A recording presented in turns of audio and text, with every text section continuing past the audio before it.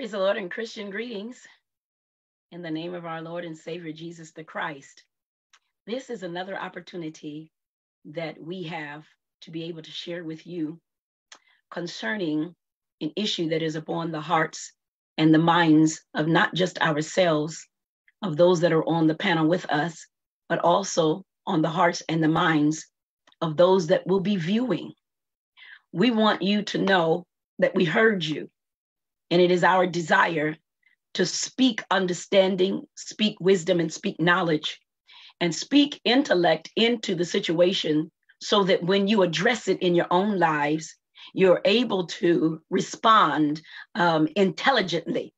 So I want to say welcome to all of you who have joined us on tonight in our discussion on the race and social injustice conversation in the biracial and multiracial home. My husband shared with me, he said, that's a pretty long subject. I think it's it's a pretty long subject, but I think it is an important one nevertheless. So I want to share again, those of you that are coming on live, I want to share with you that we're talking about, we're having the conversation on the race and social injustice conversation in the biracial and multiracial home. I want those of you that are viewing to participate. Feel free to ask questions. Feel free to put comments in the comment box. If you have any questions, feel free to write them. And when you write them, we'll do our best to answer any questions that you may have. And we'll do our best also to comment or to share some of the comments that you have because I know that it is on your heart also. So I want you to begin to share. So before we begin, before we begin, let me introduce myself. I am your host. I am Krista Tyson, and this conversation is being sponsored by Mount Calvary Pentecostal Church of Youngstown, Ohio, and Christ Church Apostolic of Indianapolis, Indiana, where my husband, Suffragan Bishop C. Shawn Tyson, is the senior pastor of both churches. I want to introduce you to our awesome, and as you will see, diverse panel. I'm going to share their names and they will share in a bit the representing roles that they play in this conversation. I hope that the panel that you see is the same panel on my screen. But if not, I think you're able, I'm going to have our panelists, when I say their names, if they will just uh, uh, uh, wave their hand so that um, individuals will know that it is you. Okay. Our first panelist is our first panelist is Pastor Locke P. Beecham Jr. He is of the pastor of Victory Christian Center, Liberty Campus of Ohio. So we want to welcome you, Pastor Locke P. Beecham Jr. Our next guest is Mr. and Mrs. Art and Suzanne Ort. You can wave your hand of Ohio. Our next guest is um, Mrs. Stephanie Clemens. Stephanie Clemens and her husband, maybe he'll join us and maybe not. We understand that he is um, a very busy young man, but we want him to know that we welcome him too, should he decide to come on. Our next guest is Miss Sierra Nelson. We're so glad to have Sierra Nelson with us. Sierra is a college student, and I think for all of the college students that are out there, um, the young people, I think this is going to prove to be a very interesting conversation, a good conversation for you. So I welcome you to join in with us. Okay? I'm not going to take up uh, too much more of the time um, because we plan on coming off by 8 p.m., but we have a whole lot to discuss. So let me say this that I believe these last few months have magnified magnified the ongoing issues in our nation of race and social injustice towards black and brown people and the pushing of it under the rug has encouraged many to address it in their own way. And the addressing it in their own way has pushed them to address it in a negative way. And I want to say this I do not condone. I do not condone. Mount Calvary does not condone. Christ Church does not condone. Our panelists, I know, do not condone. Um, con- do not condone violence. Do not condone looting. None of that. There is a way that we can effectively um, display, address, and talk about what is on our hearts without us um, um, resorting to violence, without us resorting to violence. And I think it's an awesome opportunity for us to have this conversation because we just eulogized um, a, a, an important figure, uh, John Lewis, who stood for nonviolence. There's a way of getting it done without harming one another. But there is a conversation. There is a conversation that I believe needs to be had and understood from another perspective. What is the conversation in the biracial home? What is the conversation being had in the multiracial church? How is the pastor addressing the conversation in order to bring healing to the church in this season? I believe that our discussion tonight, I believe that our discussion tonight concerning the race, and when we talk about race, we're referring to uh, the color of the skin uh, being deemed significant when it comes to privilege. And when we talk about social injustice, we're referring to the freedom for all in all social areas. In dealing with this conversation in the biracial and multiracial home and church, I believe that this discussion will reach all levels and add to our understanding and healing process. One writer wrote this It's time to transform habits of harm so we start healing what divides us. Racism is a heart disease. How we think and respond is at the core of racial suffering and racial healing. If we cannot think clearly mm, and respond wisely, we will continue to inflict damage. So let's begin to talk, shall we? So I want to say to the panelists, welcome again. And to those that are watching us on the Facebook Live, I want to say to you, welcome again. Okay, let's talk. How about that? I am going to I am going to ask each one of our panelists um, this same question to all of you. I want you to share share your biracial story, who you are as a couple, as a biracial child, as a pastor of a multiracial church. I'm going to first start with, um, I think is appropriate. I'm going to first start with Pastor Locke P. Beecham Jr who is the pastor of a multi-racial church. Welcome, Pastor Beecham. Thank You're you. up. Thank you, Pastor Krista. Well, you know, um, how, do you do you want to know how it is to uh, pastor a multiracial church? Is that where you would like me to begin? Come on with it. well, it's it's it's a beautiful dynamic, and it's a dynamic that I have honestly since I stepped into this incredible assignment 12 years ago. It was what I prayed about. It was what I believe God had destined for me. I'd be remiss if I didn't begin with Psalm 133, which speaks to how beautiful and how wonderful and pleasant it is when brothers live together in harmony.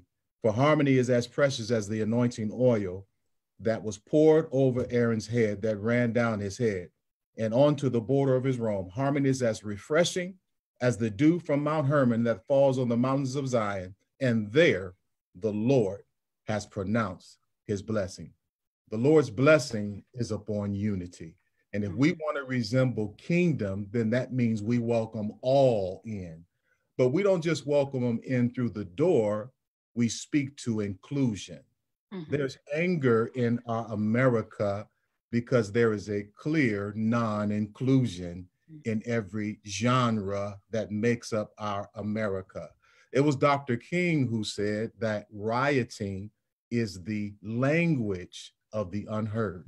It's mm-hmm. simply people that are angry. They're not doing it the right way. I don't condone it, as you said, Pastor Krista. But what I have practiced, not just talked about it, but mm-hmm. I have, by the grace of God, I have practiced inclusion. What that means is not just welcoming all backgrounds and races into the church, but actually activating these individuals in different areas and sectors of the church, including levels of leadership, worship, uh, whether it's greeting, whether it's parking lot, whether it's helps. Uh, that is a true total inclusion as far as church is concerned. And one thing I've made sure, and God has helped me in 12 years, I don't preach a white Bible. I don't preach a black Bible. Mm-hmm. I don't preach an Asian Bible. I preach the word of God. Mm-hmm. That transforms hearts of plenty. Yes. And God has been very, very good to us. I believe that there is an attraction here. Let's be honest. I came to Victory Christian Center uh, right around January 2005. And one of the things that I looked for as an African American man, I wanted to see if I was represented in this church. Mm-hmm. And to be honest with you, when I walked in, there weren't very many people who looked like me. Uh, be honest, that mm-hmm. didn't sway me, Pastor Krista and panelists. It didn't sway me because of my relationship with my pastor. Mm-hmm. David yes. Thomas happened to be my neighbor at that time. Wow. My love for him, my love for his wife. I didn't see color. I'd never had a white pastor. This was a mm-hmm. trip, everybody my black and African American friends that I grew up with are like, what are you doing going to a white man's church? I mean, what is that all about? I just said, you know, I got to go where God wants me in this season. I don't know what he's up to. Mm-hmm. He brought us to this place, though, where now I have the ability to pastor an incredible church of individuals who make up every background and every socioeconomic status. Jesus' ministry was built on inclusion. And mm. shame on us if we would lead in a way that would bring harm or hindrance on anyone who would want to be a part of bottom line. This is a worship experience that's about Jesus. It's yes. not about individuals, it's not about people, it's not about any one man. It's not built upon that, it's built upon the foundation of who Jesus is. You you said some um you said some some poignant things um the, the the one thing that you said that rung out over everything that you said, and that was unity. Yes. It's difficult, and and I'm, I'm getting ready to go to um, Art and Susie, and I know they full. but um, I'm, I'm, gonna say this, and that is that uh, it's difficult. It's difficult to get us to come together on one mind. Um, it, it, it's like there's a saying that you can put all the fellows in one ship going supposedly going one direction, but they all have different mindsets on how to get there. So then you'll have a divided boat, and then you can put them in um, separate boats and them all trying to get to the same destination, but they're divided because they're all over the place. The one important thing that you said is unity. Can we? It, it reminds me of um, I, I, forgot the, the young man's name, and I know I'm gonna get in trouble for forgetting his name. And that is, he made a statement: "Can we all just get along?" but anyway, and, I, I think Yes, Rodney King. I'm sorry. I should not have forgot that. Oh, help me, God. Okay, but anyway. All right. Um, Art and Suzanne. Art and Suzanne, if you can share with us your story, you have to unmute. There you go. Yep. Uh, first, shout out Pastor Locke. Oh. We were there when you started. I okay. Remember, yeah, I remember we we go to uh, Victory, uh, the Coitsville campus, and we were there when uh, Pastor Locke first came, came on. Right. Wow. So, good to see you. Very. Yeah, he's got the he's got the DNA, the DNA of victory, and that's that's what it is. Okay. Um, you know, I don't I don't know what you want to know. I mean, we could share how we met. We could go into that. Right. Um, I, I, want you to share how you met because in, yeah. in a little bit, um, I want you to begin to share. Um, we talked about um, uh, some issues even within that come up in the conversations that, that come up in your home. I want you to share right now your story. Okay. Okay. Well, I grew up in Canfield, and if anybody here knows Canfield, Canfield's pretty. It's pretty white bread. I mean, it's it's it's the suburbs, and I I tell the story. I think we had two black people um, my entire time in high school. One of them was adopted, so really we had one black family in Canfield growing up. So I was not exposed to um, black people really at all. Um, you know, we're nice people are nice there. I know the reputation Canfield has, but it just it doesn't have that exposure. So I was always rebellious. Um, I felt stifled by that community. It was just it just it didn't. I was not comfortable there. So in my own way, I was always rebellious and trying to break the bands and trying to learn new things and get outside that box. Um, and I think that's what exposed me or opened me up to someone like um, Susie coming along so you know i went through high school i went through college you know you do all those things you're supposed to do but i just couldn't see following the traditional path of you know you get married you have two kids you have a dog the white picket that whole thing. That just that never appealed to me. So long story short i get a job. Um, i'm working as an outside sales rep and i always tell the story. I walk into um, this account where suze was the receptionist and I literally walked in and she smiled at me. And I mean I just I was done. That that was it. Um, so you know it took a long time for us together to get together. And we could talk more about that you know as, as you see fit.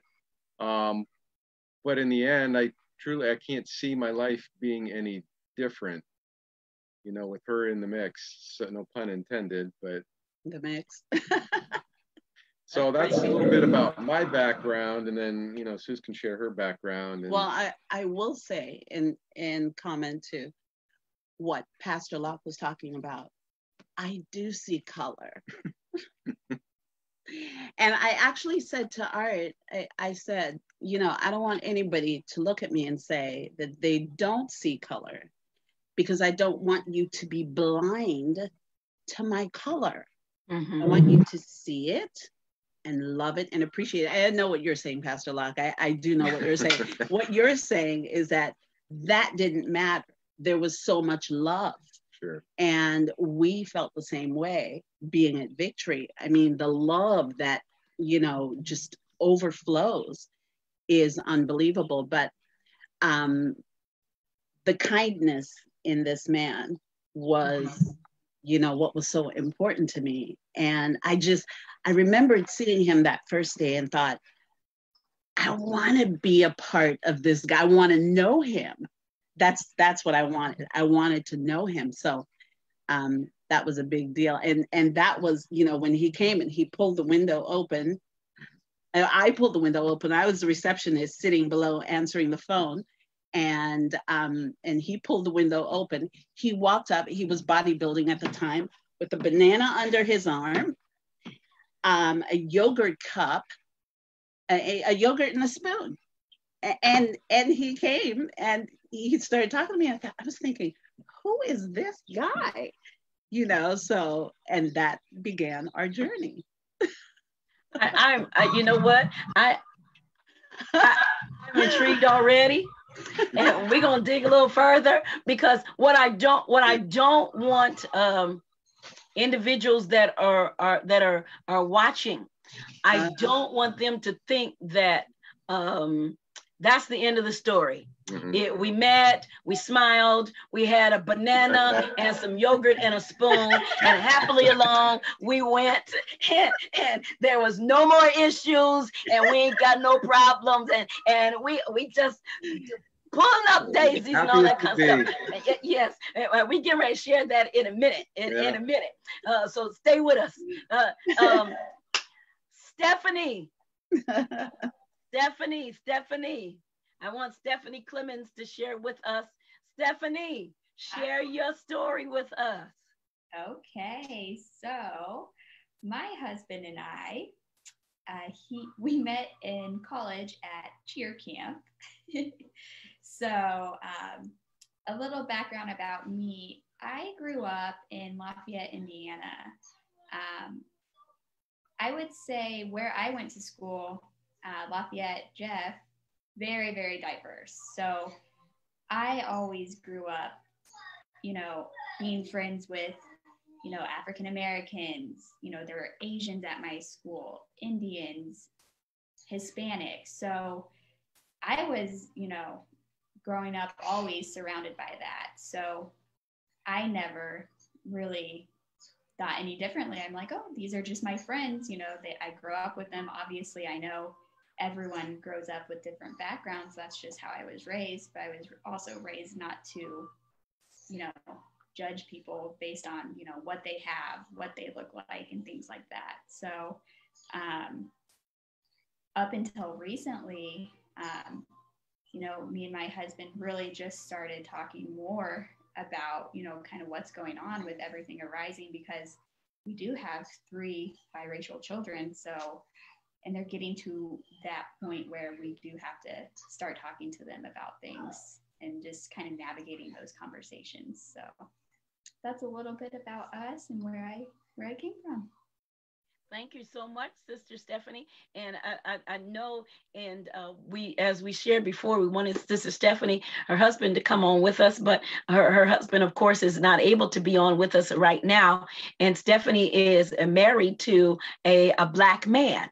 Um, and of course, uh, she will share, there's several conversations that they have and things that they have been vocal about I want to um, introduce you to Sierra. Sierra, I want Sierra to share her story before we dig into the conversation. Sierra. Okay, so um, I'm originally from California. Um, my mother is white and my father is black.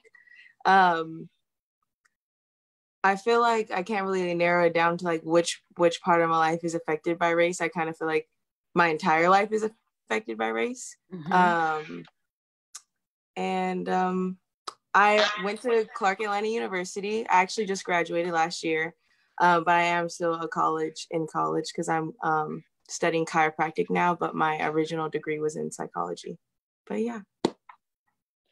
Welcome to you, Sierra. We're glad to have you. Uh, Sierra is going to be very effective in reaching our, um, our college students.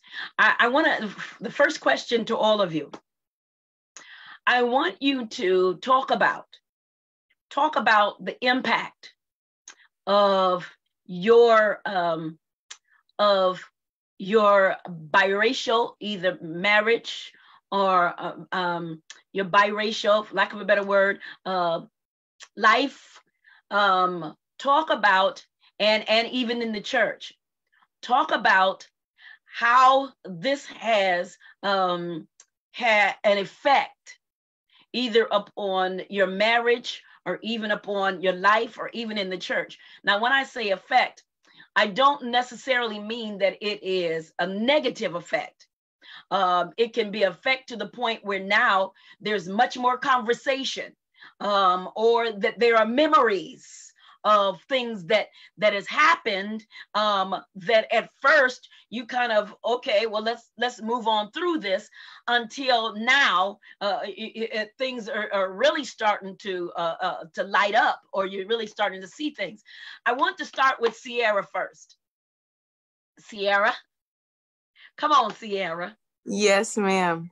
Um, well, I think I've always been very vocal about racial issues in general. It's like when you're growing up, there's really no way to avoid it. I feel like when you're mixed with other things and you're like, say, if you're Black and like Latino or Black and Asian, you might be allowed to be able to go between both worlds easier whereas like being black and white is like divisive in itself and they're not allowed to coexist together ever um, mm. and i think a lot of my experience also has to do with how i look um, there's a lot of biracial people who look more black and their experience is completely different mm-hmm. um, so i definitely have a privilege already. So we'll start off with I already have a privilege, and then I'm also just affected already.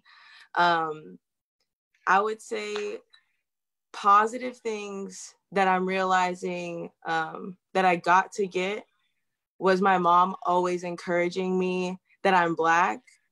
Um, it may sound like so, such a small thing, um, but the world constantly told me I wasn't Black. I'm not allowed to be Black. I'm also not allowed to be white. I'm wow. just allowed to be in my separate category. And that's just kind of what it is. Like if you look at um, the testing that you have to do in school, mm-hmm. it tells you to check one box, one box that applies. But how do like then it's like, oh, I'm picking my dad or I'm picking my mom. Mm-hmm. So my mom was like, scribble both. Just scribble both all the time. And like she just told me like anybody trying to put me in a box, like I'm not. I'm both. I can be both at the same time and not listening. So um a lot of the foundation is home. And if I feel like one of the most important things to talk about is race, because especially in a biracial home, because if you don't, then you're allowing the world to teach them. And that's totally not where we need to learn wow. things wow. in the media. Um, and I would say something that it really stimulated because my my fiance is black, so he's not. I'm sure down the line mixture somewhere, but you know, for now, no mixture. Mm-hmm. Um, and so it's been a lot, also a lot of conversations with him about certain things to say in the house because it leads a complex when you put everybody in boxes. Mm-hmm. So if all white people are bad and all this and all that, then you lead with other complexes our kids will have because to him and to the world, our kids will not be biracial. They'll just be black. Yeah. Um, but that doesn't discount that their grandma is white. So it's like a lot of different stimulating conversations. Um, I also went to a HBCU, so I'm very like radical, and a lot of people like they they don't really understand that. Um, so we get into like a lot of the idea of race is just a concept, and it's just a tool that is used to be divisive. But I think a lot of people aren't ready for that conversation. Mm-hmm. Um, I think a lot of people, um, even for like having a lot of conversations with my mom, that like whiteness isn't real it's mm. not real. It's a made up thing. Um, you know, we're Irish, Scottish, and German. You know, whiteness is this idea of control. And it's not, and I feel bad because a lot of white people have like, that's white culture, but what is white culture and what are you clinging to? Wow. Because that's not like people's essence.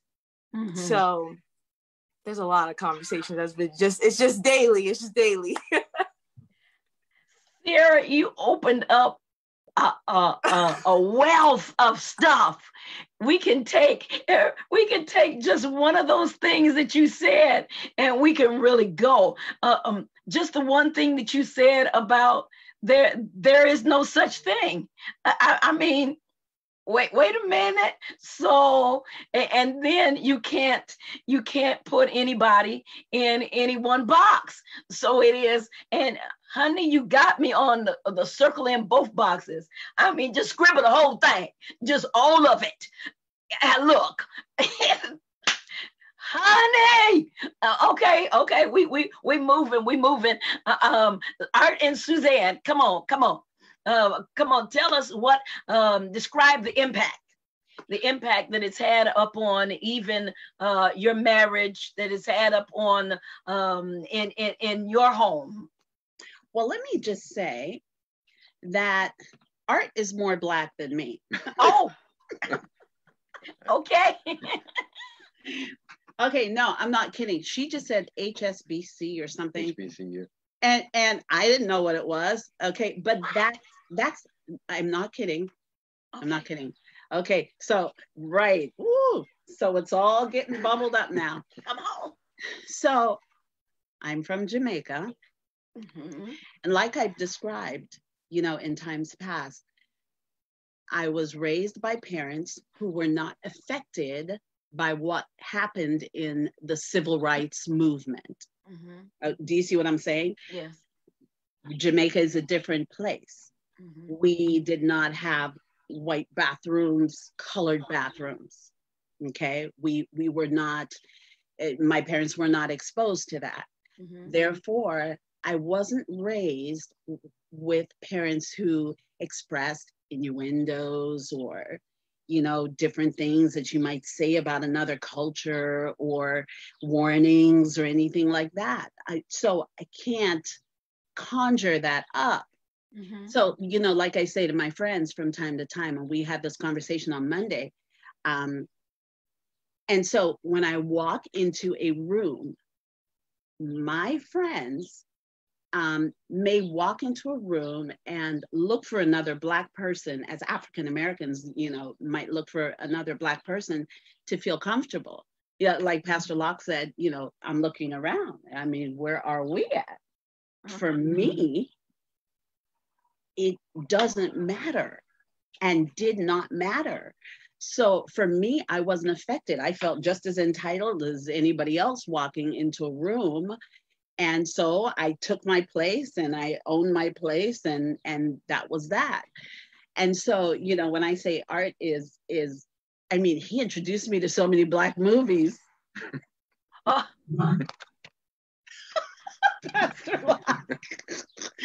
he said that's a shame girl. Yeah. I mean he is so knowledgeable you know and he he you know he digs into that stuff. And so, mm-hmm. you know, I've learned a lot from him.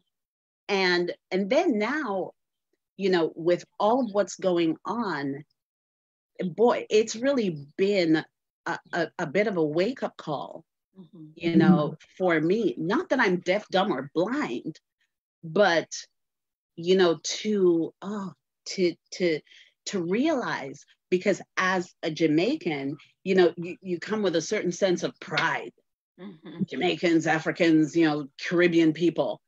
We come with a certain sense of pride. And so, you know, when you look around and you're like, who the heck are these people to think that they can treat people like this? Mm-hmm. Do you do you understand what I'm saying? Mm-hmm. So so that has been, you know, my take. Now, um, in in I feel like you guys are joining into the conversation that we have always had you know mm-hmm. in in our home more so now than we we had been but um you know it's something that we we have more definitely have more conversations about it now um you know i have sat and watched um the coverage of the different programs or the different uh, news medias and cried I mean, mm. just hurt and and and crying where he has to hold me and you know because I just cannot understand. I don't understand. I'm thinking, you know, yeah, I feel the way I do about being me and being black. I, I you know, it's a fantastic thing. Why would people treat other people like this? And and I don't want to go on onto a rant, but um, that's my part. Yeah. So, and this, you know, since we've been married, we've just been very open about. I mean, we obviously are different, but we recognize it, we embrace yeah. it. We've never worn it as a badge, or we've never. It's not something that bothers us. Right. I mean, we're all. aware of it, and sometimes we're not aware of it when we are with people, or we're until somebody may point it out, and then it's sort of a, oh, oh yeah. Um, but these conversations about differences in races and what she's talking about now, I mean, we've talked about it over the years. I think what's changed lately is it's just, it's heightened. And like she said, it's gotten a lot deeper. And from my point of view, um, what's happened in the circles in which I run, you know, my family and, and whatnot, who are predominantly white, I've always known a lot of the people in those circles who they're just these undertones. They call that uh, the microaggressions. I'm very familiar with what those are. I'm well versed on what those are, and I know them when they're coming. But what's changed with me lately is, and not that I've not been outspoken about it, but they're usually more overt. So somebody throws out the N word, I'm going to call you on it right then and there. Um, but when these microaggressions come out, I'm learning to deal with these on a different level. And so I need to address it then and there and have that conversation, even with people who are very close to me, who may not be overtly racist, but may have those those fears and those prejudices and those those biases that ultimately manifest in you know racist behavior. So and that was learned i i do believe that was learned yeah. uh, because tell them about your experience. Well so the first time the first time i had to deal with this was when i was at work and where i work we're a little further south than where we are now. Um, the first time i heard someone say the n word in my presence it was one of those oh man because I knew I had to deal with it. I couldn't not say anything. So when I approached the guy, I told him, you know, don't do that. It's wrong. And my my comment was, uh, my wife is black. So I go home and I tell my wife, I tell Suze that I did this. I'm, you know, feeling okay. She says, no, that's not good. And I'm like, what? She said, no, it's just wrong. Period. Don't bring me into that conversation. Right. So that was a wake up call for me that, oh, you know, it's like, I got it, you know. Moving forward now, I don't bring her, I mean, it's just wrong, flat out wrong, and I'm going to call them on it. I had the best of intentions. I knew I had to deal with it. I made an attempt. And I think that's my point is even as, as, as white people, and we just got to try. You know it's wrong, mm-hmm. Do something. You may stumble, you may fall, you may get smacked down, but do something. Say something. But she's very good about that. I mean, if I'm wrong, she's going to call me on it. You know, so I think that dynamic, and even more so now, we're just really learning how to navigate um, the culture in which we live now because it's just everything is so heightened and these conversations are taking place more and more, which I think is a uh, it, obviously it needs yeah, to happen. So I think our mm-hmm. relationship has sort of primed us, and I think at this point in time we're a little more ready, you know, for some of these harder conversations and I, I, appreciate you for sharing that, um, Art and Susie. And I'm going to come back in a little bit, Susie, because I want you to explain what you mean by it, it, it just didn't matter. I understand you're, you're Jamaican and you made a statement about uh, it, it, just didn't matter. Now, wait a minute. I'm about to call you on that one. You had to explain that one right there. But I, I want to say this, and that is um, uh, uh, to Art, and, and that is that in the um, biracial uh, relationships. Um, I think it is important um, what you just said, and that is for um, one race or another in the marriage to address when it is coming towards your way. When there is a statement made about um, your companion who may not be your race and it's talked about, it's important that we speak out and say something against it, not just because um, we're married to that race, but because it's right. And I think if inside of biracial uh, relationships that they understood this, and that is that we begin with, or, or part of the, uh, the the the healing of the correction is address it Mm-hmm. And I think we're we sometimes we can be so afraid of okay, I'm afraid I'm gonna get a backlash. Uh, somebody's gonna say something about me. Um, now I'm gonna be on uh, uh, uh, the negative list and all this kind of stuff. I'm not gonna say nothing. I'm just going look. I'm in my own little box. I'm happy. I'm going on about my business. Y'all say what y'all want to say, but uh, uh, uh, until there is an understanding within us that we have a responsibility to address some things, mm-hmm. then it will remain. We've been ignoring stuff for too long. Right. And now here it is in our face, and we can't afford to continue to ignore it. Oh, okay, Stephanie. Stephanie, I'm coming for you. I'm coming for you, honey. I need you to, to talk about the impact that it has had, uh, uh, uh, the impact that it has had upon your relationship, your marriage, or how you address it. So I wouldn't say it necessarily has a negative impact uh, because it's something I've always been aware of. She wants to voice her concerns too. She's uh, got some good ones. um, it's something I've always been aware of, especially even growing up. So even though I was in a very diverse school, um, there was still another part of town that was very country. And um, so you experience it there um, and you see it there. Um, and I remember the first time actually that I can recall and remember, um, you know, kind of experiencing it. I was um, at my cousin's house. They're like my second cousins or something of that nature. Um, and we were at a basketball game that happened at that school that's out in the country. Um, and I was taking one of my black friends home. Well, we stopped at my cousin's house and we were playing with my playing Call of Duty or some video game. Um, and my cousin that was our age um, in his room. And so the adults that were out there were asking my dad why they why he's letting me hang out with that N word. Mm. So I experienced that, you know, that was my first time and I was in high school. Mm-hmm. Uh, so it was something I was already I was aware of, but then that was the first time I actually like overtly heard it from somebody that I knew. Um, so since I've always been aware of it, um, and my husband I know has experienced it throughout his life, um, know, it's something we've always talked about. So for us right now, this has really just been bringing up conversations of what are we going to tell our children? Yeah. Um, for me, my biggest thing is I have a son who is definitely darker skinned. Our daughters are a little more fair skinned, as you can tell.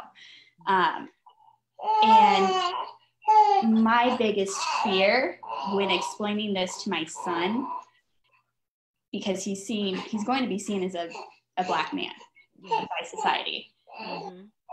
How do I explain to him that people who look like mommy will hate him because he, he looks like daddy?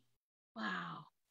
Mm that's been my biggest struggle and impact is as a mother more than anything.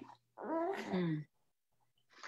I, you know what, Stephanie, I'm gonna say this, and that is that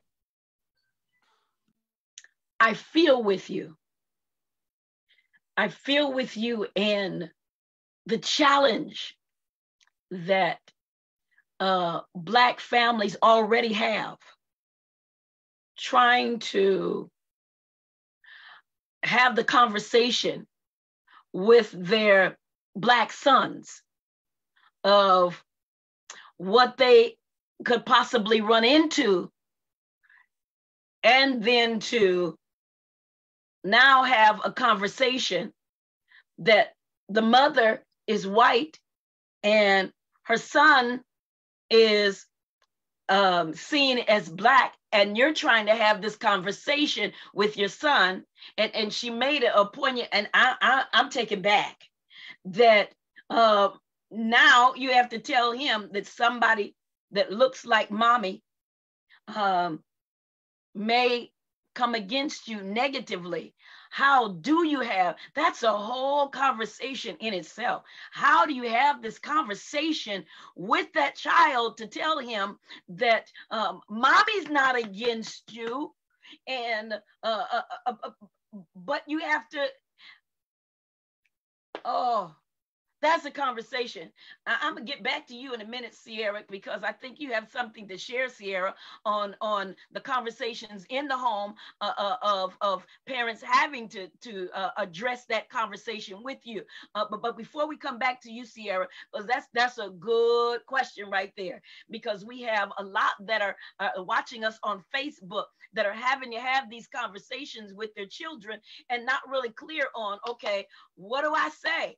But uh, Pastor Pastor Beecham, I want to come to you because I want you to talk about the impact that it's had in your multiracial church. What have you had to say? What things have you had to address? Uh, uh, uh okay, Pastor Beecham. Yeah, I've you know I'm I'm so I'm blown away by all of these beautiful conversations from the panelists. Uh, yes.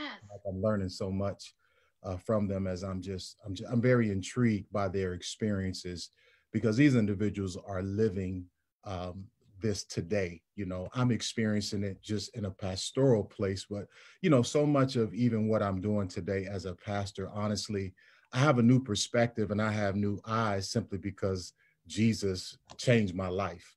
Uh, you know, I didn't always have the perspective that I have right now. You know, I grew up in a home where, you know, my father's from the South, he's from Alabama, mm-hmm. and um, he had some horrible experiences with racial uh, integration and white bathrooms, black bathrooms, boy this, boy that. And, um, and so I grew up, you know, with that common knowledge. And so there was a, a slant. It really was, you know, bottom line, Jesus changed my heart, my life, but I still live in reality. Yes. And so what I have to do is I have to do my best to build bridges between the cultures that exist, not only within our church, but in the world that our church has to live in. Mm-hmm. Because, you know, folk are only at church. Now we in COVID now, but folk are only in church once, maybe twice a week, but they got to live in the real world. So That's we can right. paint this picture as though, you know, everybody's going to accept you because, you know, you're God's child. I mean, I mm-hmm. wish the world was that perfect, but right. it just won't work like that. Uh, we got to speak the truth you know you know we have to seek the first to be uh, you know to understand rather than to be understood so i'm doing my best to just build bridges between uh, our congregants and speaking from from the worlds that they live in and understanding that hey i know we love jesus but you're experiencing some things that i'm not yes. and if you are willing to understand uh, how my life is shaped and how i am looked at and how I am disrespected, dishonored uh, when it comes to certain venues and places and such, then I think that we can have vital conversations. I think what we're living in today in the church and within our world is a reality check. Mm-hmm. We were nowhere near as far advanced as we thought we were when it comes to any level of true unity. We got a long way to go, but I'm doing my best as a pastor. And to me, the, the greatest bridge that you can build is Jesus. It's, yes. It starts there. We got to start there, and we have to look at how Jesus uh, did his best in his lifetime in 33 years to build bridges between, you know, all of the racial uh, aspects that existed, and uh, we're trying to build upon that uh, even to this day. Thank you, and, and Pastor Beecham, you. I want to say this that you represent um, you represent many pastors um, that are in the same uh, position that you're in, and also just the comments that have come up, the issues that have been addressed right here on this panel may be something that they never even thought about but now here they are. It's opened their eyes to, okay, this thing keeps sprouting. It keeps sprouting. Here's an issue over here. Wait a minute. I've just been addressing the fact that uh, it, it, there's a there's a multiracial, there is a, a, a biracial couples here, but I haven't addressed the fact. Okay, how can they have these conversations with their children and it just all the doors that are that are opening up that are continuing to open up. Uh, uh, uh, now we have to as pastors you have to look at it from another perspective. Wait a minute now i'm gonna have to go back to the bible to find out what does the bible have to say about how to address this with the children. How to how can i as a pastor come down to uh, uh, the language of a child to help that child understand uh, uh, uh, this is what uh, and, and to help a parent uh, um, uh, uh, helping them to get through this phase i'm gonna tell you this whole pandemic and i think sierra is gonna be able to help us i think this whole pandemic has opened up some stuff that we may have pushed to the background that we have not addressed. And now it is okay, address it. Because if you don't address it, you're going to drown. If you don't address it, you're going to have some angry people because it has put a voice It's put a voice to people, and now they're saying, "Okay, this is what I've been trying to say." Now we find out that it's not only their voice that has been uh, uh, uh, that has been concerned about the issue, but it's several voices. And now all the voices are talking, and it kind of reminds me of of that movie. Uh, I don't know if it was Liar Liar, where he played God. Uh, uh, the guy played God, and he was on uh, Susie. You Bruce Almighty. Yeah, thank you. Uh, Bruce Almighty tried to play God, and he was on the um, on the computer, and he was trying to answer everybody because all the questions, all the stuff kept coming and coming and coming. So he gave everybody the same answer. That's not working no more. ain't working no more. So Sierra, Sierra, I'm coming back to you. Sierra, I need you to talk about the conversation the conversation that has been had and that is being had in the biracial home. And maybe you can help, uh, sister, or give some uh, some. Uh, insight to Sister Stephanie and also give some insight to the Pastor Beecham. And I know Art and Susie are raising uh, uh, grandchildren too. Maybe we can give some insight. Come on, Sierra, help us out. Okay. Um, I think the most important thing that parents can do is educating themselves. Mm. Um, I feel like that's like the the starting point is, you know, you have to educate yourself on it's not just white people that hate black people in this mm. country. There's everybody plays a part in this society that affects black people. So I I understand where you're coming from as far as being scared that your son you know is going to identify you with those people but i think the first thing you need to do is separate yourself from those people like you you are white but you're not like them mm-hmm. so i feel like you know releasing from that fear already is a step because my mom is always like the i'm not it was never like my people hate your people it was mm-hmm. like there's people that don't like black people and that's how the world works is past america is just how the globe works mm-hmm. um you know, a lot of young, uh, I'm Pastor Locke. I think he talked about his father growing up in the South. And I know a lot of Black men got to sit down and watch Roots like when they're 5 mm-hmm. So, you know, it is scary because we think about our kids as these, oh, these pure spirits, but it's like, it's better that the, they hear about it from you and understand that they can come talk to you when they run into these situations than going out and learning in the world that oh, you think everybody likes me, but then it's um, a person of color police officer that still treats you that way because they play into that system too. Mm-hmm. So, you know, I think the first step is definitely reading, reading, reading. This society, this this education system does not teach us anything. Mm. Just like how I believe um, Miss Susie was talking about, she didn't even she didn't even grow up like that. So it's a constant way that the world divides even Black people from each other. She's Jamaican, I'm African American. Mm-hmm. That's why everybody's just start, I'm Black, because that includes all of us. We're all Black and we all get treated a similar way in different places. We just had a different stop on the boat, and that's all that means. Um, so I've, yeah, and then, you know, encouraging also if you know that you live in a space that isn't diverse, including your children in spaces where there is diversity, where there are other Black people that have different ways of life or look at the world differently, because then it leads your kids to be able to open their own doors. You know, people will put your son in a, he's just a Black man, but he's not just a Black man. He can be whatever he wants to be. But the world is very, he's going to have to play sports or he's going to have to be a rapper. Wow. Um, so I think the first step is like we got to read books that they don't give us, and we got to talk to you know if, even if you go to my I learned my first semester at my HBCU was like my whole world got flipped upside down. Everything is a lie. that's like the wow. first thing. The first thing that you learn is like everything is a lie. So that's like, and then you know, I believe um, art was also talking about microaggressions, and like that's there's a whole plethora of microaggressions and just straight aggressiveness that we don't even know because we're not paying attention to the system that's at play. So, education, number one. That's that's my. wow! Wow! Eh, eh, wow! Wow! Eh, look! Look! look!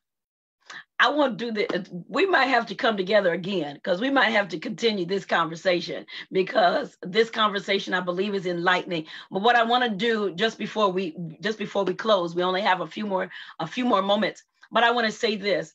I want first of all Susie, I'm coming back for you. You're to have to respond to what you said. And then I want to come to each one again. I want you to just uh, talk briefly or just share um, a conversation that is being had in your home even now. Um, so others that have to have conversations know that they're not alone and how um, it is being addressed. Understanding that the conversation is being had but what does the conversation look like?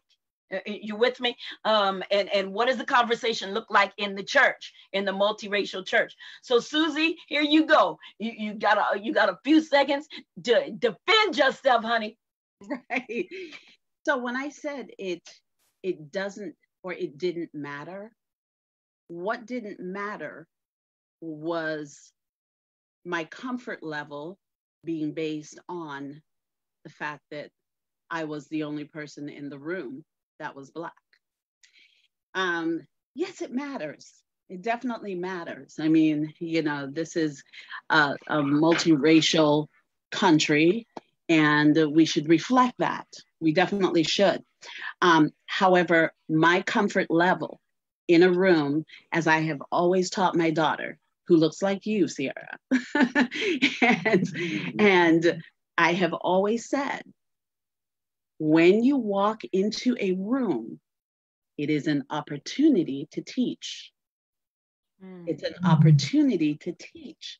So when I walk into a room as a black person in a multi in, in a you know multi-white setting, I must blow your mind because I know that your perception is mm. what you saw on on TV. Mm-hmm. So I must teach. Uh, you know, uh, we're all uh, teachers of God. We are all teachers of God because to teach is to demonstrate, and God is love. We're all demonstrators of love. And so when I walk into a room, that has to be my priority. Mm-hmm. You know, that you don't look at me and say, well, you know, that's not what they are or or you know you're typically supposed to be a b or c learning experience. The next thing is that we have to be careful as black people. Now i'm going to touch on something a, a, a little bit different. We have to be careful what we look for when we walk into a room. Mm-hmm. sometimes we walk into a room expecting the antagonism. I must say for me it's been minimal if if at all. I you know I said to Art the other day, hey, I've never been followed in a store in 41 years. He said, uh, yes, you have. you just didn't know it. right.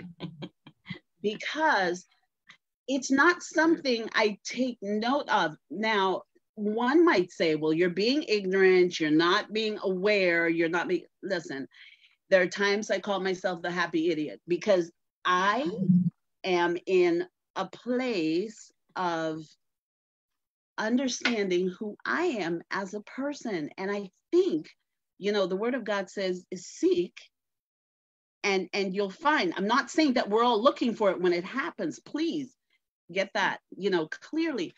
But I will give you a quick experience before um, you know, and wrap it up. Monday, because I'm now heightened, my sensitivity is now heightened. Yes. I'm all, you know, do we matter as Black people? You know, kind of thing. Okay. So I'm driving down Wick Avenue and there's this white kid in a truck in front of me. And on his uh, his side rear view, he had a camera. So, you know, I'm sitting in the back there, I'm going, wait, is he taking a picture of me? What is going on? The world is going crazy. okay. So you know, I am I'm right at the light by St. Vincent de Paul, or what used to be, because they're building a dormitory um, for YSU, like right over there, and the guys are over there on the scaffolding. Okay, so we left that light and we went to Commerce Street. Well, you know, I'm thinking, oh, prior to yes. leaving the light, yes. he had his fist out the window and he was he was shouting something. And so um, I thought, oh, wait a minute, the heck is this? I mean, race racist just like straight up. so I, I, you know, we drive to. He drives to uh, Commerce and uh, and whatever in Wick Avenue, and I was making a left, but I couldn't help myself because I talked to everybody. So I pulled in the in the uh, lane next to him, rolled my window down, and said, "Well, you're happy today." And he goes, "Those are my paint buddies." he was taking pictures of his buddies. of his buddies on the scaffolding. Shouting to them. Shouting to them. Uh, we have to be careful people. We have to be careful. We have to we cannot make a single move without jesus mm-hmm. we have to be careful and therefore here i was making assumptions, you know, I was ready to be uh, heightened. We have to be careful. It had nothing to do with me. My point is, if you look for it, you will find it. So, that aspect of it all, we really have to take a second look. And that, that that's my story. I, I, art, 30 seconds or less, a conversation had in your home being had uh, in your uh, home? No, we thought about that. It's really hard. We do. We talk about. We actually have um, jokes, and we we play off the race card all the time in a, with in, each other in a healthy manner. Sometimes it puts people off. Yeah. So they're like, be, should I laugh? Should we laugh? Yeah. Um, but I think what's changed is we're, we're, we're going deeper. My whole approach, um, and I've learned, I can't tell you how much I've learned from her. Um, like, for example, we're raising grandkids and there's things I do. I let them just go wild. I let them, you know, whatever. In the store, they ride in the shopping cart. I mean, this is stuff that I'm used to growing up. She'll sometimes stop me and she'll point out, but they're black. Chill. Mm. and at first I'm put off. I'm like, yeah, I, but I can't relate to that. But I have to put myself aside and I have to really try to understand where she's coming from. Mm-hmm. I think that's the dynamic um, that comes in this is it's not always my way, it's not always her way, and it's not always black and white. Right. Sometimes it's not even about race. It's about um, principles sometimes. Wow. But so much from her and my whole thing is I just I, I always try to be in a in a, a, learning state of mind and these I love these conversations these are fantastic wow I wow in these and then in the in the in the world in which I work the circles in which I run I am now better educated and prepared to to speak um, like you know Sierra had said or like you had said with facts with intelligence with wisdom mm-hmm. Instead of getting all worked up and emotional which is not how I operate you know I've now got got these experiences which are great, which turn into stories which I can share with people, which is where it always hits home. So uh, this is this is fantastic. Wow. Um, one more tiny point with regards to um, you know in church, I will say this: um, we have been you know a little bit hesitant, just wondering, do we matter? Um, mm. in the church setting. And we know, you know, our, our pastor is, you know, that that's not his his voice. Right. But the pew, you know, there are people in the pew that you don't have control over. But I will say, as I shared with uh, Sister Krista in in times past, um, in this heightened sensitivity of of racial injustice, um, and crying for weeks, just just crying and crying. One day, I received a text from Art's brother's wife. One text that said, Susie, we love you. I've been thinking about you all this time. Um, we, we care about you. We stand with you. Hope you're doing well, blah, blah. I burst into tears. Wow. What are we doing as white Christians and reaching to our Black brothers and vice versa? Are we, does it just stop at, oh, I'm praying for you for cancer? But there is this hesitation with talking about, I'm praying, you know, regarding these injustices they are not right. It's just mm-hmm. it, it's that sort of thing. But that has been, you know, and one of the aspects of our conversations, um, you know, just looking at how such a small gesture, a small gesture could have such a huge impact. I wow. have been talking about it for about a month now, every day. Wow, wow. Uh, uh, just a small gesture uh, goes a long way. It does. Uh, Sister Stephanie, 30 seconds. A conversation being had in your home concerning this race and social injustice.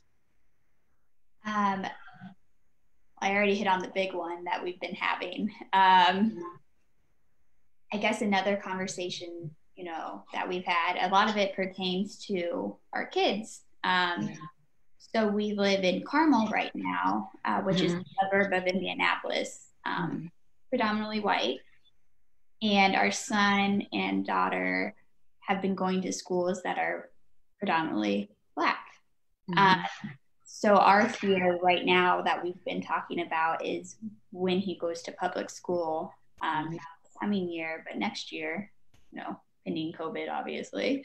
Yeah. Uh, hopefully it's gone by 2021. but um, him having a culture shock when yeah. he's there. Wow. Uh, uh, Pastor Beecham, you, you, you're hearing that? That that's another subject in and of itself.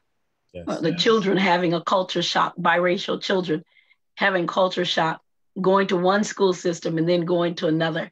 But Pastor Beecham, I'm going to leave you for last because I need you to Okay. Sierra, come on. What's the conversation? What's the conversation in your home? Or that um, had in your home? Younger or right now? Younger, right now, what individuals, because I'm sure whatever the conversation was, younger, is addressing people, is hitting people even now. Well, I think a lot of conversations I'm also having to have um, especially getting married to somebody who is just black, um, mm-hmm. realizing how many microaggressions I let slip by because I just care about people and don't want to have the conversation.